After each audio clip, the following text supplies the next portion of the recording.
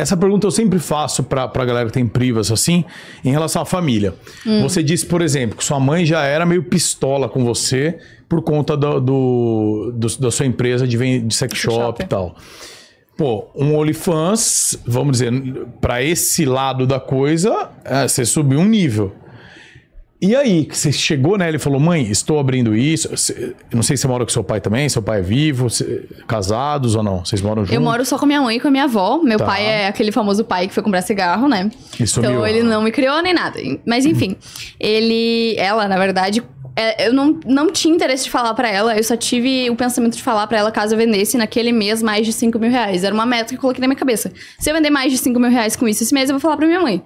Só que depois que eu fui demitida, por ser uma demissão sem justa causa, foi do nada, eu recebi naquela época uma rescisão de 8 mil. Que é muito pra uma pessoa de 19 anos. Tá. Então eu decidi morar sozinha. Peguei e falei, mãe, eu vou sair de casa. Ainda não tinha contado pra ela que eu tinha aberto um privacy. E saí de casa, fui morar com uma amiga. E eu lembro que uma semana depois, morando com essa amiga, eu postei um print ah, no Instagram falando que eu tinha conseguido me mudar por causa do meu novo trabalho. Alguém teve a capacidade de tirar print disso e mandar pra minha mãe. Aí ela ficou, ela descobriu dessa forma. E a minha mãe, ela tem 60 anos, ela é do interior, então quando ela descobriu, pra ela era a mesma coisa que prostituição. Pra ela eu tava destruindo famílias, destruindo lares, ela ficou extremamente brava, ela parou de falar comigo por uns dois meses. Então foi foda no começo. Mas você continuou morando com ela esses dois meses? Que ela não falava com você? Não, eu tava morando com uma amiga nessa época. Tá, tá morando com uma amiga. E ela cortou o relacionamento. E quando vocês voltaram a se falar? Depois de uns dois, dois meses e meio, eu tentei. eu- Nesse meio tempo, eu tentei diversas vezes tentar conversar com ela, mas ela não quis. E eu super respeito ela pensar dessa forma, porque foi do nada, né? Sim. E ela é mais velha e tal, então eu esperei o tempo passar, mas mesmo assim tentei manter contato até que no Natal, porque eu comecei a criar em, no- em novembro.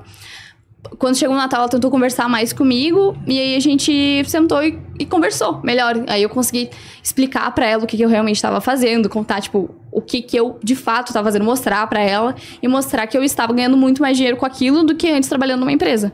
E aí não vou dizer que ela aceitou, começou a me respeitar, mas ela compreendeu ah, um pouquinho mais, sabe? Entendi. E esse relacionamento tá assim até hoje ou melhorou um pouco? Melhorou muito. Tipo, eu acho que isso fez a, a minha mãe que me criou, mas mesmo assim eu vi ela como uma mãe, não como uma amiga. E agora eu vejo a minha mãe como, além da minha mãe, uma das minhas melhores amigas. Eu sei que eu posso contar tudo pra ela. E agora é muito mais legal, sabe? Poder, tipo, falar, ai, ah, tal cara. Tipo assim, eu trabalhei por um tempo como Kemi, né? Que é chat ao vivo com outra pessoa, outro usuário. E aí nesses chats aconteciam coisas bizarras. Então eu tive toda a liberdade de contar pra ela essas coisas, a gente dar risada juntas. E hoje em dia, tipo, se, eu se a minha mãe quisesse, ela não precisava nem mais trabalhar, porque eu poderia sustentar ela. Então isso é muito legal. E hoje em dia ela não me apoia, não gosta de falar pros outros o que eu faço, mas ela entende o que eu faço. Entendi. Entendeu? Aí também assim, pô, você já é maior de idade, dona do próprio nariz, cuida da própria vida, também não tem muito o que ela fazer, né? É aceitar e, e ver esse apoio, né? E tocar, entender e É. seja o que Deus quiser. Ela começou a fazer terapia também depois disso. E ela- a psicóloga mesmo falou pra ela que ela tinha duas opções. Ou ela aceitava o que eu fazia, porque eu não ia deixar de fazer, e falava comigo, ou ela não aceitava e cortava a relação comigo. Eu sou filha única, né? Então foi essa decisão que ela tomou. Tá. A gente chegou nesse ponto. E aí, você tava, você passou por tudo isso e aí você teve a brilhante ideia de fazer um outdoor. O que é isso? Hold Você sabe o que é um outdoor, mosquitão? Não, eu sou leigo na putaria. O que, que você acha que é um outdoor, mosquitão? Vou chutar, mano. Vai. Odora. Pensa, pensa no que significa a palavra em inglês. Tem, Quem um- sabe? tem uma dica assim? Ó, outdoor. Pensa o que significa em inglês. Out é o quê? Out? É. É alto? Isso. E door. Dor? Dor? Isso. é uma dor alta. É, é isso? Não. É o quê?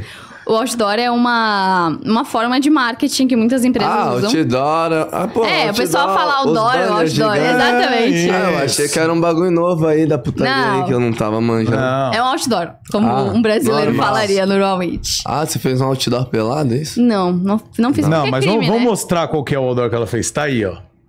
Quer Tá me aqui, ver olha. pelada? QR Code. Dá meu celular aí.